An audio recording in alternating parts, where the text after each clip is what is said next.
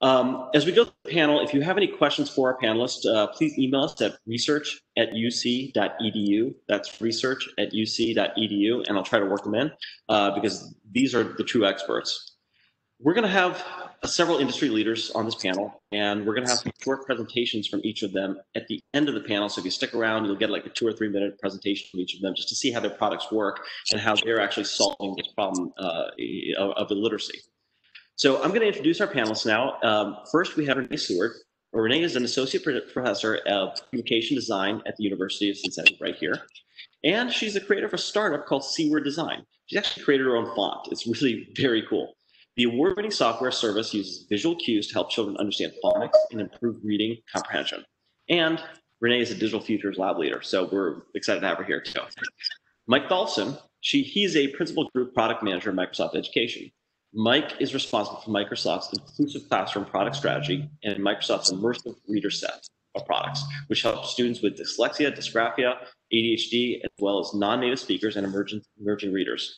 Immersive Reader has 23 million monthly active users across all apps and platforms. It's incredible. We've got Kent Knipe. He's Vice President of Engineering with Learning A to Z all teachers have heard of Learning A to Z, a literacy focused pre K to six education technology provider. Its products based uh, blend traditional teaching, teacher led instruction with technology enabled resources to make teaching more effective and efficient. And they practice more accessible and personalized assessment uh, of more strategic and automated learning. Uh, the company's products are used by more than 7 million students in more than 170 countries. Incredible. And last but not least, we have Melissa, Mayrer, um, Melissa Weber Mayrer. She's director of the Ohio Department of Education's Office of Approaches to Teaching and Professional Learning. Melissa is charged with leading the state of Ohio's literacy improvement efforts.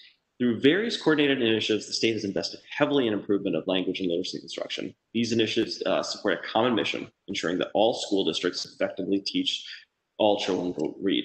And what I love about having Melissa on this panel is she can tell you what a policymaker's thinking about these kinds of issues. So we're going to get right into it. Uh, appreciate all of you being on here with us. Um, you know, so as I mentioned before, digital futures, what the whole premise of it is to really solve problems that matter. And, and what better problem than getting kids to read and solving this illiteracy divide. So I'm going to come to all of you on this, this one question. Uh, but first, I'm going to start with you, Renee. How did C-words and how did you come to understand this issue of literacy and what methodology, how do you specifically tackle this challenge? Yeah, sure. I would say that arriving at this problem was twofold. It started with me being in graduate school and taking a course on experimental typography, which is how you put words and letters on a page to help someone understand. That class was challenging me to think about how that intersected with language. But on another level, I had a dear friend whose son came home talking about his frustration and learning to read and taking tests, and he's describing his experience. And I just had these two worlds, and I wanted to figure out how to bring them together and how to use the knowledge that I understand inside of communication design and design research to help because I have realized um, from looking at the research that there are strategies that we have used as graphic designers that could possibly be employed to help teach some early reading skills. So it started there, and I began partnering with educators, educational psychologists to work together to figure out how do we take the sciences from our two fields and start tackling this problem in different ways. So is that personal connection there that, that got you into it? That's really interesting. Um, I'll, Mike, I'll go the same question. Uh, talk to you about that. Microsoft and you personally, how does it affect? Uh, how do you come to this issue personally, but then also as an organization, and what are you doing to solve it? Yeah, so I would. It's interesting for me personally. I sort of fell into this on accident, but in a in a happy accident. So the background is about five years ago, Microsoft has what's called a global hackathon, where anyone in the company can work on any project they're passionate about for a week and build prototypes and experiment. And so I was working on the education team and I'd done a little bit with dyslexia, but there was a group of people across Microsoft. We had uh, reading PhDs, we had assistive technology experts, speech pathologists, and other folks. And we all got together for a project and we said, what if we took the latest science and research around reading but focused inclusively on dyslexia as our core customer type.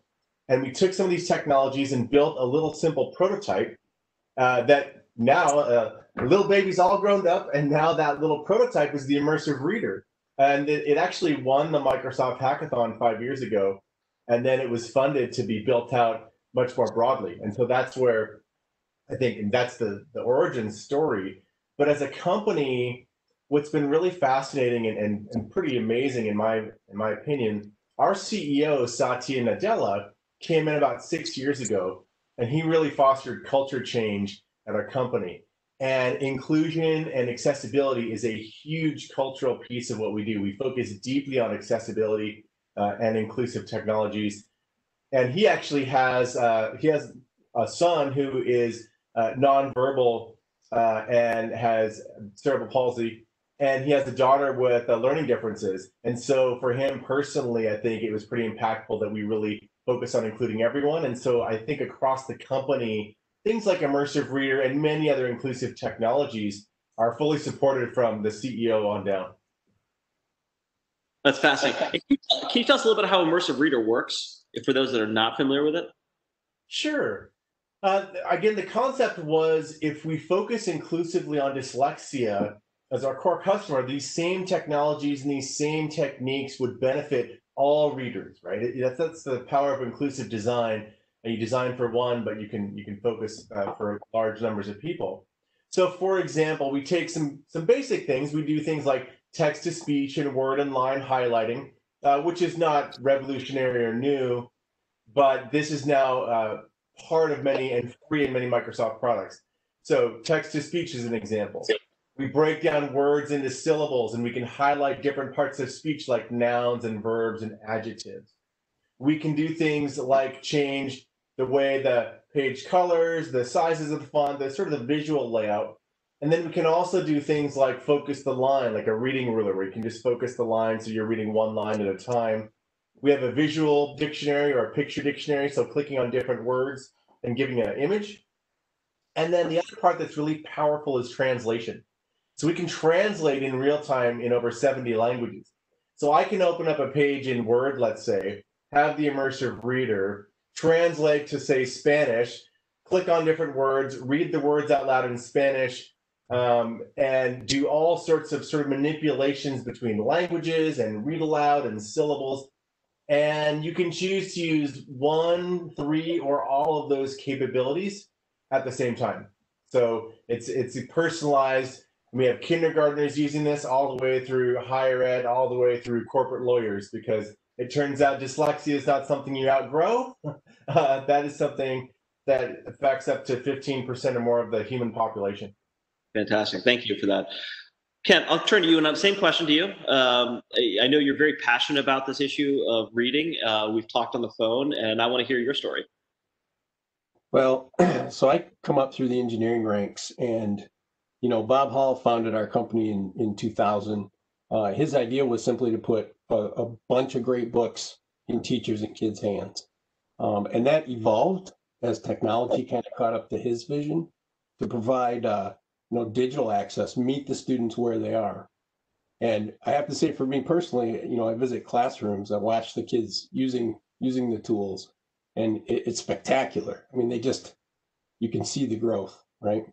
And uh, so now, you know, as technology keeps moving, we find ourselves pivoting into mobile, and you know, a lot more, particularly now, uh, distance learning. And so it's really great to watch the the reading instruction grow from there. That's great. Thanks.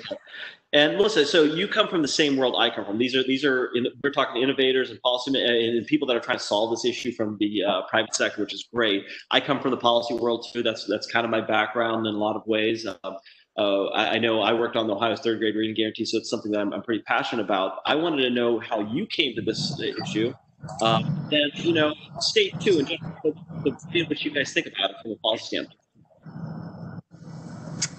Sure. Thanks, Jay. Um, so I, I, my, well, my background is is in education. I've worked in three different states in, in all um, high poverty areas um, in in Chicago, in Columbus, and in New Jersey. Um, uh, so I've always worked with struggling readers. I was a struggling reader. I have a child who struggled to learn how to read. So I kind of came to the table where this is just something that's always been my passion about. Um, you know, how do we how do we help everyone to be successful? So in Ohio, now my position at the department um, and my my studies um, in, in university through my uh, PhD focused on literacy for early and middle childhood. And uh, with that, I'm now being at the department and working on policy for the past four years, what we've done is we've tried to highlight literacy as a lever for school improvement. Um, and within that lever, we're really looking at um, in, in Ohio having a common language and looking at how we can increase language and literacy outcomes for children birth through grade 12 now that's in a that's a regular world not even in the world that we're in i should say regular like this right? Um, world that we're in right now. And so what we've been doing is trying to build our educators capacity to be able to do that. So i'm happy to hear the, my colleagues on the phone talk about tapping into educational psychologists and speech and language pathologists and and experts that know really the science behind how you learn how to read and you're tapping into those experts when you're when you're creating supports for educators and i'm i'm really really happy to hear that. Um, so what we've done in ohio too is is thinking about um, you know how do we identify proper assessments for children so that we can really pinpoint where the difficulties are how we analyze that data, uh, what, um, how we use that data to identify evidence-based strategies and practices to tie that specifically to, and I think it was Kent at the end talked about personalizing learning for children. So how do we really make sure that it is personalized and it is what that child needs? And when I say child, I'm talking about children all the way through 12th grade, uh, probably and beyond, up to, you know the P, P to 20. Um, and then um, thinking about how those evidence-based practices are built around the science of reading. What does science tell us? What does current research tell us? How do we meet the needs of all learners, uh, which are students with disabilities, um, our, you know, our students at risk for having dyslexia, our English learners, et cetera. Um, and then what high quality instructional materials are out there for teachers to use and what training is there for teachers to learn how to use and embed those instructional materials. And then finally addressing that whole system, right? That multi-tiered system of supports for uh, for our children. So what is what resources and and and uh, work what things are out there to support the core instruction for all children, and then intervention as you move to you know children might need more intensity of one thing or um, you know et, et cetera. So I'll stop there, but that's kind of that's kind of the big picture of where Ohio is as far as um, working with districts and, and providing guidance you know through policy. Appreciate that. Um, and I'm going to stay with you for this question here, the next one. So I want to separate out for a second this pandemic that we're in um, and the unique challenges that it presents us, uh, because it certainly does. And I want to come back to that in a second. But when you, as a policymaker, are talking to educators, just in general about getting kids to read, um, and I know that we have uh, this third grade reading guarantee in Ohio, and other states have things similar to that too. How does a policymaker like you have those conversations? What challenges do you hear from educators? And Then also, as an addendum that, since it's a real ed tech forum, too, how do you see that teachers are using education technology? Because I think that's going to be to the rest of us as they through this too, through your lens. Sure. So many many of the things we hear are pertaining to some of those. Oh, I think I'm on. Am I on mute? Can you hear me? You can hear me. Sorry. many of many of the challenges are related to the things that I mentioned, right? How do I? We hear, um, you know, not just from teachers in classrooms that are worried about their their children, but principals that are worried about supporting their teachers. So we get um, we get questions around, you know, how am I going to meet third grade reading guarantee policy um, when I'm not? I don't have these children in front of me um, and and I don't I can't interact with them from you know the start of the school day to the end of the school day, right? Because of of our, our different ways of, of logging in.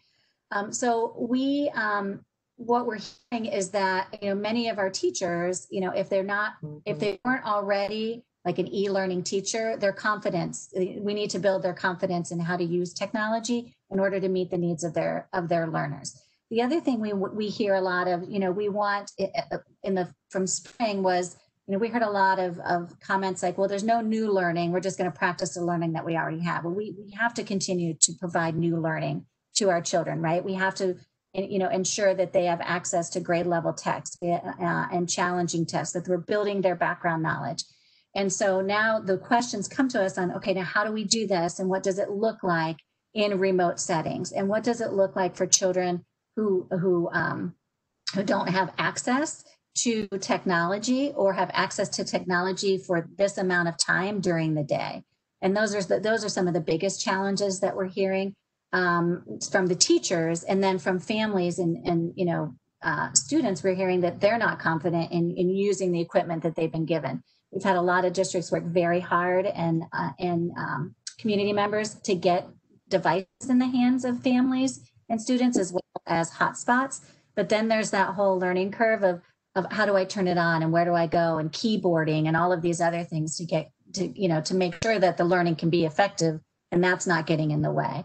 So, so it kind of runs the gamut of, you know, how do I teach the science of reading to a struggling reader? How do I provide intervention? And then how do I also support parents to, to continue that support when I, as the teacher, are not engaging in the child for a typical amount of time that a school day would be? So, it, Ken, I want you to play off that a little bit too, if you could, in terms of the accessibility to some of these products um, and, and actually the, the hotspots and internet. It, can you comment on that a little bit?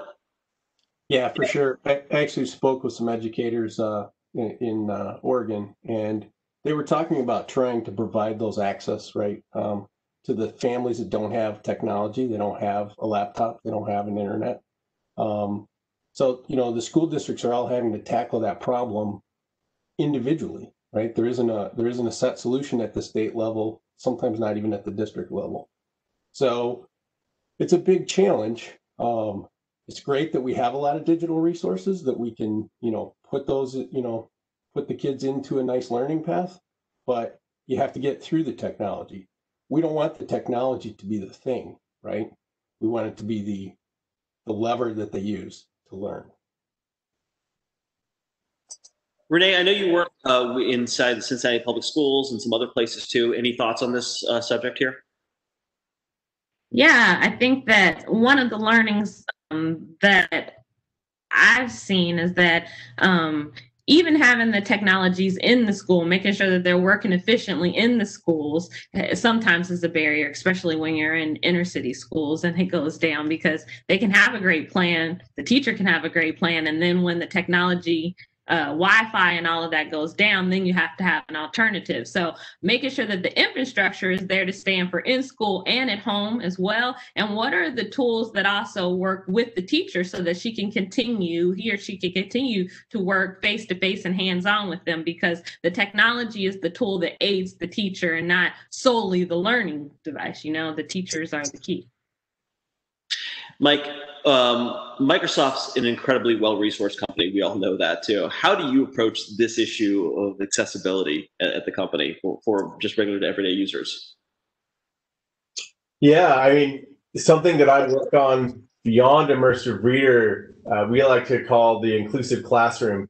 So I, the way I categorize that, I, I like to sort of tell this story. I talk to a lot of school leaders, technology leaders in education, uh, district administrators. And maybe five years ago, whenever I would go in, if you said uh, the title of the talk, or I'd come in and say, I'm going to talk about accessibility, that word is very linked historically to things like, oh, you're talking about blind and low vision users or deaf and hard of hearing people. And they would sort of do something along the lines of, oh, oh, great, accessibility go talk to Frank. He works in the basement. He does all of our assistive technology stuff. And they'd like shuffle you away because we're going to go over here talk about education things. And when I reframed it around the inclusive classroom, we're going to talk about inclusive reading, writing, math, and communication. Who cares about that? You'd have a very different response. And so that is the way we frame it is like these are inclusive technologies. They're going to help all people with writing, all people with math or reading or communication. Yes, it might help some people more than others or differently, but these these are going to benefit all of your students. And so that is how we think about it. The other thing we talk about a lot is my uh, my four my four catchphrase. I like to say built in, mainstream, non-stigmatizing, which is key, and free. A lot of people think Microsoft costs money because they're kind of in the 2011 era. Microsoft is only Windows and it costs a lot of money. And you know, we don't we use browsers or we use Macs, so clearly we can't use Microsoft. Um, that's the old 2011 Microsoft. That was maybe true. But uh, welcome to the year 2020. Everything's free. Everything works on all devices, and it's mainstream and it's non-stigmatizing. So, start part of our goal is when it's built in to the free version of Word or Microsoft Teams or the browser, then no one cares. It's not stigmatizing because a lot of kids uh, they would rather go without than to stand out. If you've ever heard that phrase, it's like, oh, I don't want to use this special software because I, I'm going to look weird to my friends, and I, I don't want to do that. And so our our sort of philosophy is, you know, when it's built in and non-stigmatizing, uh, it's software that's used in the workplace, it's software that's used in higher ed, it's software that's used in schools, then no one cares if you're using Word and you're using a couple of extra features in Word, or if you're using Microsoft Teams for collaboration with all your colleagues and these technologies are accessible and built in. And so we found that actually has quite a psychological shift in how students think about these things. Uh, it's it's subtle, but it's actually pretty impactful. Yeah, that's a really interesting point, and you're seeing this in a lot of different areas where we're, as a society, trying to make things uh, okay uh, when you, especially mental health, but but all these kind of places. So I think it's a pretty common theme, and I think it's really interesting that you bring that up. Um, I'm going to switch gears a little bit and, and bring it more to the present right now. Uh, we're in the midst of something that's been unprecedented in this country with this pandemic, and it's really reshaping how everyone does business, everyone thinks about things. Melissa, I want to go to you first. Uh, I mean, you're in the business at the end of the day of teaching kids how to read, how to learn, um, and at the end of the day, solving problem, solving this huge problem. Um, how has this pandemic uh, affected your work as a policymaker, but also educators and what they're dealing with um, in this really crazy time? Yeah, well, as, as a policymaker, you can you can imagine that the um, the amount of documents uh, that we are uh, being asked to create for our educational community are on a rolling basis each update you know restart documents and and documents that uh, would be would um, you know are providing support for things that would be typical legislative requirements. Um, but now in a virtual setting, they look different. You mentioned the third grade work in, in ohio and third grade is one of the states across the country that does have a policy at third grade um, which is to catch kids uh, early uh, in kindergarten and uh, who are not on track and, and intervene early so that by third grade they they are you know proficient readers. Although much like other states we have a promotion score that is still not a proficient score. It's a promotion score to get them into fourth grade but knowing that we are still passing kids into fourth grade that haven't reached the proficiency mark. So where you know the policy has to go beyond beyond third grade. As as um, i think mike said earlier you know students who who uh, are uh, diagnosed with dyslexia that that affects their whole life. So uh, from a policy standpoint we're still trying to adjust to how do we how do we locate the students? How do we assess? The assessment is a big piece now that it's it's in vir- virtual settings um, remote settings. And then how do we provide that intervention on the education side, we have since March 20th, which was when our ordered school building closures happened in Ohio, um, have provided uh, almost 200 virtual learning sessions for teachers uh, and for principals.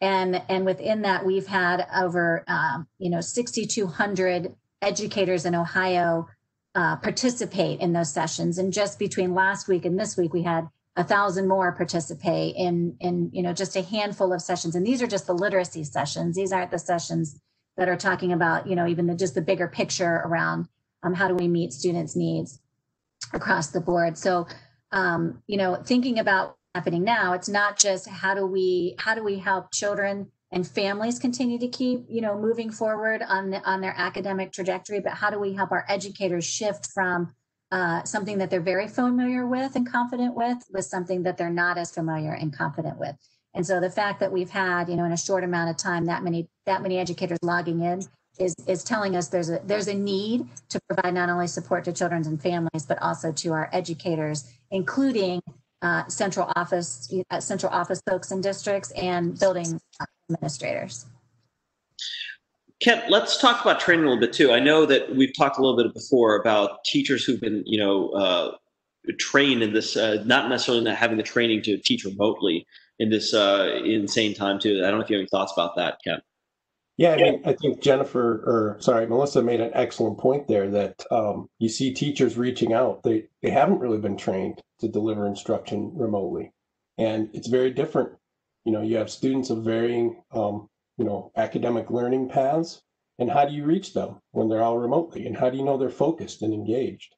So I think what we're seeing is a need for more professional development for teachers. Their their job is shifting, right? What do you do if you're doing in person and remote. Um, so I think there's a lot of new pivots here that we haven't seen before. Yeah, I completely agree. Um, and look, the, the reality is we don't know how long we're going to this period either. I mean, hopefully we get out of it sometime in the next uh, six to eight months, but it may be off and on like this for a long time. Um, Renee, when you're in product development and you're really refining your product, are you thinking about the pandemic in, in a new way or to actually provide something else for students?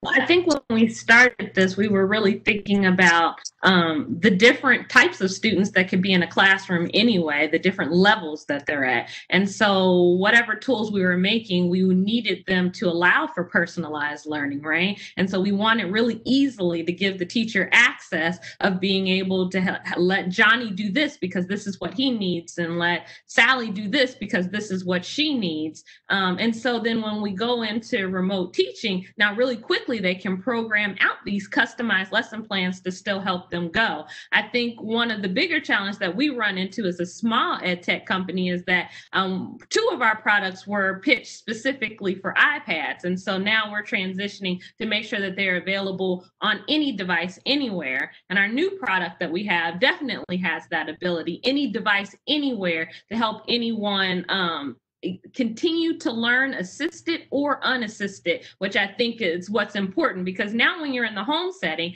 and your mom or your dad, they still have to do their work over here. What are the activities you can give them to do to keep them growing, even though they're not access, uh, uh, accessed in like one to one teaching that you would find in a classroom? How do you keep that going until the point that they're back to that one on one teacher or when mom and dad can spend that time to do the one on one at whatever part of the day it is?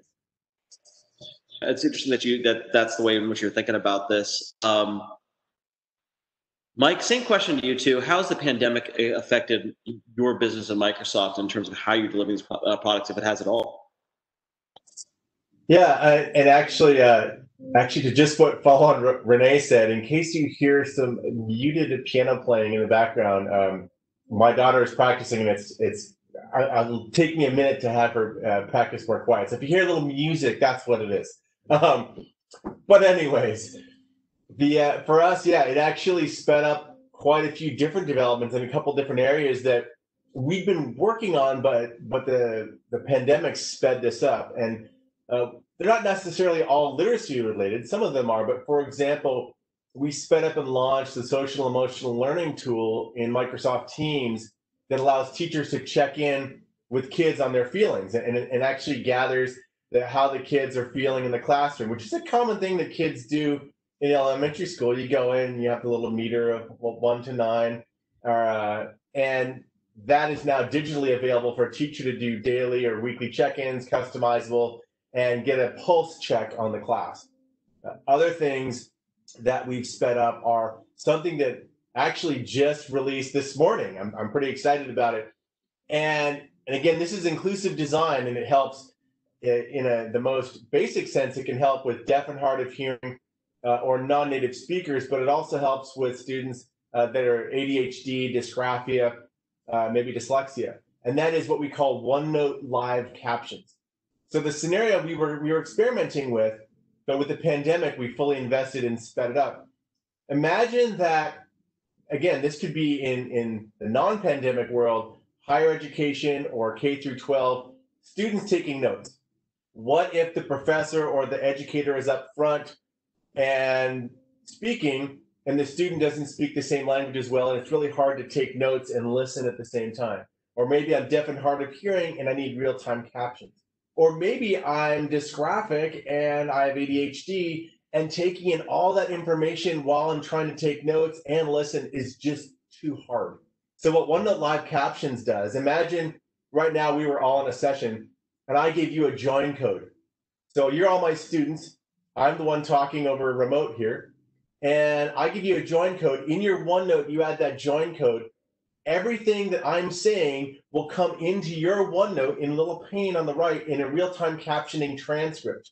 And you can choose over 70 languages. So if I'm speaking English and you speak Spanish and another person speaks Japanese, in terms of listening better, they can have that captioned in their language in OneNote in real time as they're taking notes.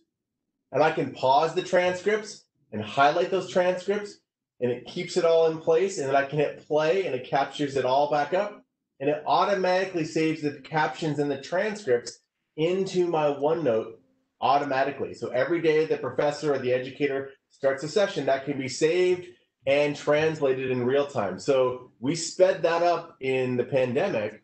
And I showed that to a mother of a dyslexic son who was a junior in high school. I showed it in early development. And she actually started crying, happy tears, that is she started crying because she said, My son now has a chance to survive in college. She said, In universities, I was I didn't know how he was possibly going to keep up and read and take notes and listen all at the same time. It's just going to be too hard. So we believe that can be a really powerful feature for all sorts of students. And we're excited to launch the beta version of that today. Well, I'm really excited that we get to break news here. I mean, that that's that's pretty great for us here at UC. And the second piece too is if uh, at the end of this uh, webcast, if your daughter could play us off with some of that great Seattle sound, um, Pearl Jam, Soundgarden, any of that, we'd, we'd Okay. Playing Taylor Swift right now. Yeah, I couldn't control that one. Yeah, sound. That's okay. yeah. um, Ken, I'm going to ask you too. I know we talked a little bit about the pandemic before too, but product development in, in regard to the pandemic, anything from you? Yeah, absolutely. I mean, we we pivoted pretty quickly. Uh, we rolled out something called the Connected Classroom last month. Um, it's really designed uh, for personalized learning, student-centered learning path. Um, it's got a self-evaluation, um, you know, instructional goal sets, lesson guides, um, all standard aligned, organized by grade. And the idea was, let's get teachers everything they need in one place, right? So that they can deliver it remotely. So we went really fast. That wasn't even a product idea four months ago, right? And it's already out there. Fantastic. Um, all right. I want to talk a little bit about how all of you involve parents and kids directly. And, and I know Mike talked about a little bit in the last story, which was fantastic. But in terms of getting feedback from your your um, in terms of what your product development is going to be. But Melissa, I'm going to start with you. Um, I know you deal a lot with educators and for, with superintendents and other folks like that too. But how about parents and kids? How, what's the interaction? How does it also?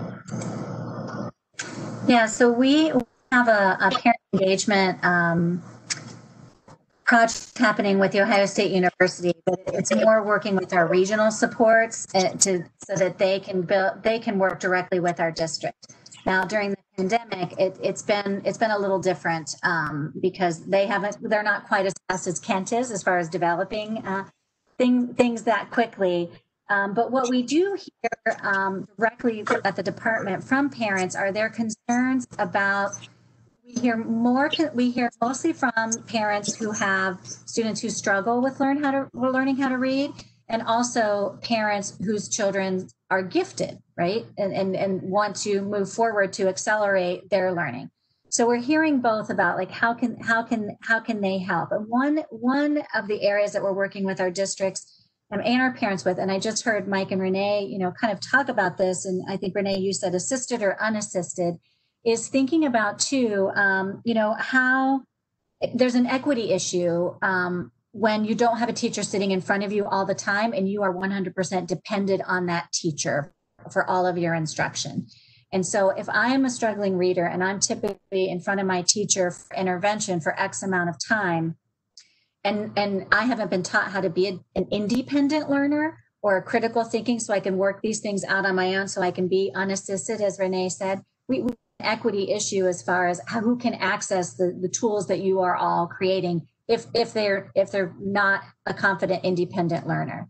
So a lot of the questions we get are from our parents is how do i how do i help my child right? And and um, do be able to work independently while i'm doing my job right? When, and even sharing the computer because i might need to take that computer to do my job which means my child doesn't have that computer to do their job at the moment so there there's lots of different things that are that are happening as as far as the department is working um, on, a, on a big project that um, is titled Remote EdX um, that is aligned to our Each Child, Our Future and all of our, our strategies. And that is, you know, all of the things we're talking about here, which is, you know, getting the devices, engaging families, trying to help parents, um, you know, also help meet the needs of students because, you know, the parent, our parents, they're not educators. And all of a sudden, as of March 20th, they were all, you know, now you're your child's teacher um, and so those, those are those are all kind of the new moving pieces and parts that are happening. You would think that we had all this time from March until the start of school in August to figure it out, um, but we haven't. So we're still figuring it out as we're moving forward and relying on learning from the, our, our, our colleagues on the on the webinar here as to you know how fast can you develop things and how fast can we teach adults how to use these things so they can be successful with children. Renee, I'm going to ask the same question of you too. Um, how do you deal with parents and actually kids too in in solving this problem? Yeah. I would like to say that our process is very like co-designed with uh, teachers and educators and parents. We've put out prototypes really quickly. Uh, I love the time that I can go spend in the classroom and just observe how uh, the teacher and the student is using them, hear what they said, hear what the pain parts are, and go back to the lab and make it better and bring it out for a next round. So I think that uh, the conversation and how they used it um, is very important to me because I think that the tools we're creating, it's important that it fits like a glove for all parties. It fits like a glove for the teacher, it fits like a glove for the student, and it fits like a glove for a parent. And you don't really want to know that you have it on. You just want to be learning the information out of it. And I think as we um, move forward here of understanding what are the core tasks to meet the standards and how in different ways can that be automated to help give assisted learning to a student so that if a parent parent doesn't really feel like they have the confidence in knowing how to do it, this tool is going to guide the student one by one and going on so that the parent can be in the role that they like to be. Woohoo, keep going, you doing it, you know, type of role. Like that's where I feel comfortable. uh, that, that is such a great answer. Um, all right, I'm going to switch gears. So we, are getting some questions from the audience, uh, and remember, it's research at uc.edu if you've got a question. But I, have got a one that's that I thought was pretty interesting from Nancy Jennings. How do you address parent and teacher concerns about excessive use of tech among children that is further enhanced in the pandemic? Tech limits and restrictions have been highly recommended by pediatricians and others. So you're all in the technology business and the education business. Um, Mike, I'm going to go to you first on this thing. Uh, clearly, that's that's something we want to limit. We want to make sure that kids aren't just in front of uh, the screen all day, but they kind of have to be in front of the screen, especially now. What are your thoughts on that? Yeah, that's a that's a good question. I mean, not only that's a wrestling with that one at home just as much as as a, at work, and so I, I, mean, I guess it depends on what you're using the screen for. Like an interesting statistic. Again, I, I've read this where I think right now it's estimated that it was a big poll by NPR. I think they said 20% of students with special uh, that special needs or special education students felt like they were able to get the services they needed from the school during remote learning. So one out of five. That's that's pretty brutal. And so with things like assistive technology, that actually at home can be very helpful because again, when these are built in and mainstream, non-stigmatizing free, and obviously there are equity issues because not every student can get Uh, technology at home, and that's something we have to work on. But at least students that can access some form of technology at home for assistive tech can use those tools to try and keep up because the parents now can often have to go into the state of helping with the assistive technology where the educator used to, which is still difficult, but at least there's something. We've also seen, and we've said this publicly, we saw a 10x, so you know, over a thousand percent increase in usage of immersive reader during the pandemic, and massive amounts of that were at home. So what that tells us is that with certain type of screen time, that can be still helpful, especially for students that really need that or require that. And that's not just for immersive reader, that could be speech to text. That could be inclusive math technologies. That could be like we talked about real-time captioning and translation technologies at home that uh, what we've seen is a, a speeding up of adoption of some of these where there might have been some red tape in the past to try out or use new assistive technologies and the pandemic has torn down that red tape.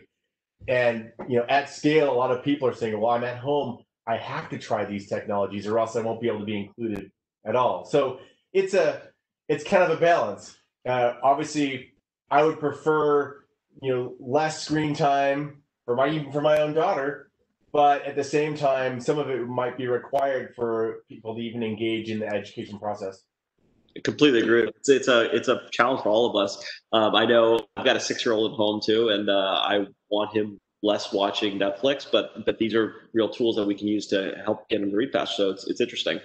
Um, Kent, same question to you too. Have you thought about this issue? Yeah, absolutely. We all suffer from it, right? I call it, uh, you know, a little bit of technology fatigue. So if I'm in front of my screen all day, um, I don't want to be in front of the screen at night too. Um, I think kind of dovetails in with Melissa's point about parent engagement. If we could give the parents some guidance, then the students don't have to spend all their time in front of technology. So, hey, out in the backyard, let's see if we can find some bugs. That's part of our science unit, right? Um, but the parents don't know that. So there needs to be an intersection, I think, between the teaching in the classroom and the parents helping sort of mentor their students. Um, and that's going to help kind of alleviate that technology overload. Thanks, Ken. Appreciate that. All right. So we've talked a lot about, and we've, we've touched on this next thing that I want, want to make sure that we all have some kind of sense of, um, of these specific granular issues that sometimes uh, impede a kid's ability to read uh, whether it's ESL, English as a second language, or dyslexia, or low vision. Um, Ken, I'm going to stay with you too. Have any thoughts around those kinds of things? It's not just the regular kid that just we're just trying to get them to read, but they've got a very specific problem. I know Mike's talked a little bit about dyslexia before in, in one of his other answers, but I want to get, give you a chance, Ken. Yeah, I think Mike's got some some great answers in this area, but um, you know, one of the challenges with technology is accessibility, right? So can I make technology available to everybody? Could be a socioeconomic problem. It could be a disability, a dyslexia, or a um, you know, low vision. So now, when we're also heavily reliant on remote learning, how do we make sure that all those tools, all those resources, can be put in every child's hands? And there's not a great answer. I mean, there's been a big push in recent years for web technologies to do the uh, it's WCAG 2.1 compliance. Make sure your tools are accessible. Make sure they can be read by a screen reader. But it's more than that too, right? Um, it's access to devices. Um, to, to Mike's point, you know, great tools that will let you unlock whatever the content is. I think it's an important piece. So I'd really like to see, you know, all companies um, spends more time on that. spends more time worrying about every student. Uh, we have kind of a, a, journey that that Learning A to Z is on, where you know we've spent a couple of years getting audits done of our sites and remediating those issues because we do care, right? We do want everything to be available to every kid. Appreciate that, Ken. Renee, the uh, C Words was founded because of dyslexia, really, at the end of the day. So, how do you think about these other issues too, these other specific impediments? Yeah, I was gonna say the everything that I do started with Caleb, and Caleb suffers from dyslexia. And as I stood there and listened to him talk about his frustration, while I don't have dyslexia, early on it was a struggle for me to learn to read and write. So I empathized, and then I began realizing if there is knowledge that I have inside of typography, and if the technology inside of developing fonts in any way could be helpful in giving more access to people who are having phonic or or decoding issues, then I'm all about that, right? And so a lot of the new tools that we're developing, we're figuring out how do we use new font technology to make these fonts smart enough so that they are the unassistive accessibility tool. So as you're reading anything you want on any device, if you're struggling to decode, let the font help you um, give you that aid, right? Let the font be the tutor or the helper or the reserve teacher until you can get back to that tutoring session or the classroom session to help push you out further. Fascinating. Thank you. Um, we've got another question from the audience. Uh, so this is around collaboration, and the question specifically said, "Would you consider collaborating with each other to help kids learn how to read?" Um, I want to, uh, Mike. I'll, I'll, go to you on this. Um, we're I'm sitting here at a research university. The whole basis of it is to collaborate, to break down silos, to try to solve problems that matter. As we've we've said before. How do you view collaboration with policymakers, with uh, research universities, those kinds of things at Microsoft, and other companies too? Yeah, no, that, that's actually a great topic. And so with Immersive Reader, we have worked with, we have internal reading research experts, but we've actually been working with top external reading research experts for years. And the, our whole thing is let's take the latest science and research and let's try and build that into software. We actually even put up a webpage on the immersive reader research that's gone in, citing all the different research articles. Some of them are 50 years old, some of them are 10 years old, some of them are relatively new. And so that's a key part of what we do. But for example, and I'm not going to share what the details are, but we're working on some next generation reading technology right now. And as part of that, we have got um, sort of consulting with some of the top, we have people like Timothy Shanahan or Dr. Mark Seidenberg or Tim Rasinski or some of the top leading dyslexia uh, experts. We Sally Shaywitz, uh, Fumiko Hoeft. So they are some of the leading people in the field, and we consult with them and get their feedback early on because the last thing we want to do is put out software where it was a bunch of Microsoft employees in a dark closet like thinking about stuff. we actually want to make sure this has been vetted and we want the top researchers to come to us and say that's a terrible idea don't you dare ever do that like great i want to hear that very early on. And so that is something that we are always uh, working with the top people in the field on. Kent same question to you. How do you how do you collaborate yeah i, I mean i align almost 100% with what mike's saying right? Um, we reach out to experts all over the place. Uh, we're always paying attention to the new research. We want our products to be effective, and we're not the ones to make that decision, right? There's a lot of people, a lot of smart people. Um, working on things like how do we make third grade students all be proficient readers, and we want to follow that that science, follow that that research, and build it into our products. But we also collaborate with other companies too. So you know, we we think best in breed is the way to go because we want we want the students to succeed. Uh, you know, obviously we're we're companies and we want to make money too, but at the heart of it, it's about inspiring, you know, joy and curiosity, um, and and you know, comprehension. That's that's what we're all about. That's great. That's fantastic. So, um, Melissa, you're a policymaker and you're kind of somewhat beholden to the state legislature, the governor, Congress, funds uh, from from all those folks there too, and and policy they set. I, am curious. Look, if you had a magic wand and you could just say, "I'm going to get rid of these barriers one day or change some policies," what would you do um, if you were that queen for a day to say, "This is how we get kids to read"? well, Queen for a day. Let's see. Um, I, I, well, I'd ask for time, but time, I don't know I have control over that. But I think it's important for education, educational leaders and teachers to have critical conversations. And I think sometimes we don't take the time to have the critical conversations. Um, everybody on the on the call today talked about how important you know that is uh, with with you know stakeholders or our customers. You know, our our families and children are our customers. Uh, you know, at the department, and when we think about making legislative policies, so. Uh, um, I would I would think about uh, you know ways to identify um, appropriate assessments when we're thinking about teaching kids how to read, um, how to um, then plan for instruction, how to uh, identify those evidence-based practices, and then and then using high-quality instructional materials so that the teaching can be can be effective. And I, I think I think one of our one of our biggest pieces that we've learned in Ohio over the past four years is the importance of really supporting our educators and not just the classroom teachers, but as I've said before, the system that that supports um, you know the educators so that they can be successful, and that includes our parents and it includes our community.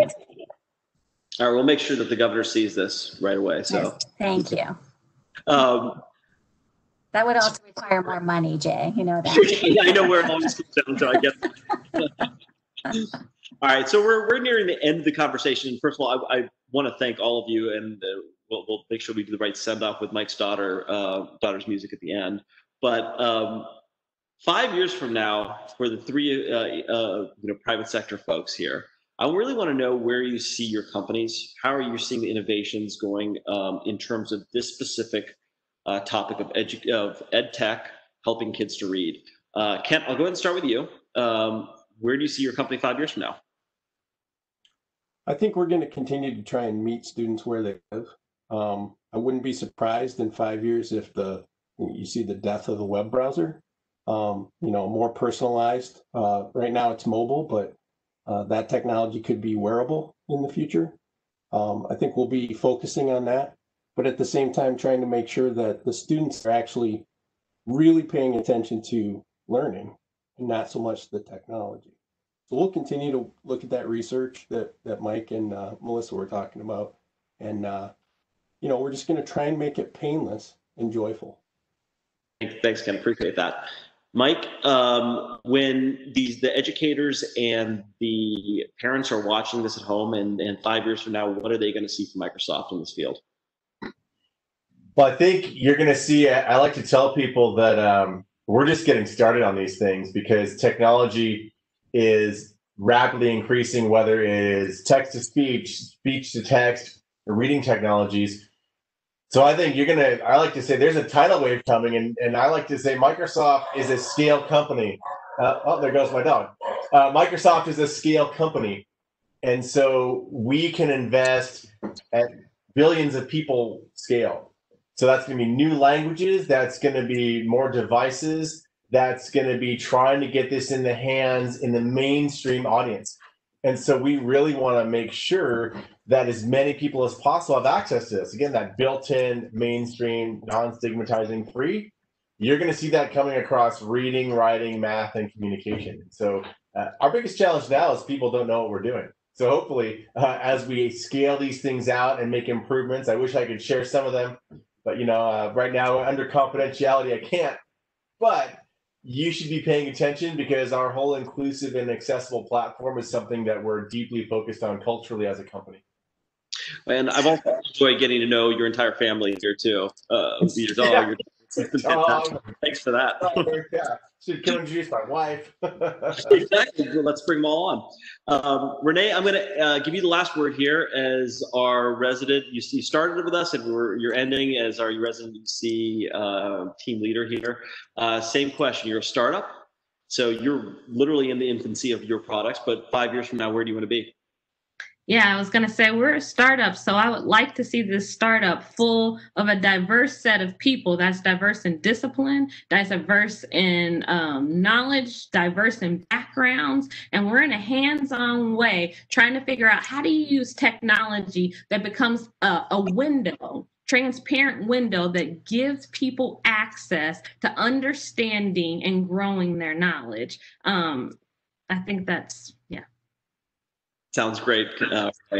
Look, Mike Tholfsen, Renee Seward, Ken Knipe, Melissa Weber Mayrer. I want to thank all of you for joining us on this uh, conversation. Uh, again, it's a, it's a conversation that matters in, in, in a lot of people's lives, um, and it's a problem. It's a it's a conversation that actually help people uh, in more ways than just reading, and that's what I don't think people quite understand. So we're going to sign off now, and we've got a few videos here uh, from the three products, just so you can take a look at it. it. It should take about 10 minutes to get through them all, but so you kind of understand what our panelists were talking about there too. Thank you all very much. We'll be in touch, and uh, this video will be archived so you can watch it posterity and share it around. Thanks so much, guys.